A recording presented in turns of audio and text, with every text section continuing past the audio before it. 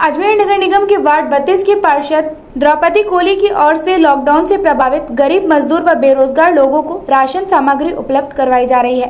नगर निगम व प्रशासन की ओर से आटे का वितरण किया जा रहा है। तो वहीं इसी के साथ तेल शक्कर दाल व अन्य सामग्री मिलाकर पार्षद द्रौपदी देवी लोगों को राशन सप्लाई कर रही हैं, जिससे कि इस महामारी के दौरान कोई परेशान न हो उन्होंने बताया कि वह ढाई सौ लोगों को इससे पहले राशन सामग्री वितरित कर चुकी हैं। और अब ढाई सौ लोगों को और राशन सामग्री वितरित की जा रही है,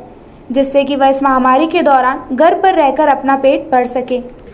आज वार्ड बत्तीस के जो राशन कार्ड है, जिनको नहीं मिलता है और जो इस लॉकडाउन में बिल्कुल फुटकर है, जो बेरोजगार लोग हो चुके हैं, उनके लिए खाद्य सामग्री का वितरण किया जा रहा है। इसमें नगर निगम की तरफ़ से हमें 100 कट्टे दिए गए थे 10 किलो के, लेकिन हमें उसमें 50 कट्टे 10 किलो के और 100 किलो, पाँच कट पचास पाँच किलो के 100 कट्टे दिए गए। लेकिन इस, मैंने सोचा केवल खाद्य सामग्री में हम आटा ही देंगे तो अच्छा नहीं लगेगा, इसलिए बाकी सामग्री मैंने अपने ओन खर्चे से मंगाई, जिसमें एक किलो तेल है, एक किलो चने की दाल है, एक किलो शक्कर है, एक किलो नमक है। और इस तरह से मैंने पहले 250 लोगों को पहले भी बांट चुकी हूँ खाद्य सामग्री और अभी मैंने, मेरा टारगेट 250 लोगों का बांटने का है और इस तरह से मैं 500 परिवार को मेरे वार्ड में एक खाद्य सामग्री का वितरण कर चुकी हूँ अपनी ओर से।